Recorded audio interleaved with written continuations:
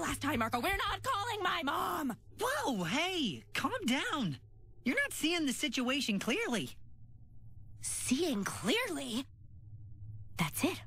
I'll use the spying spell. Since when do you know a spying spell? Uh. Reveal to me that which is hidden. Unveil to me what is forbidden.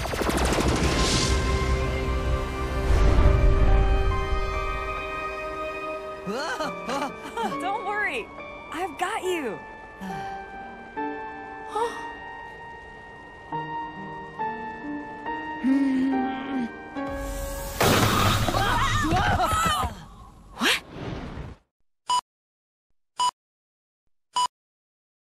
Since I learned it a while ago, you weren't there.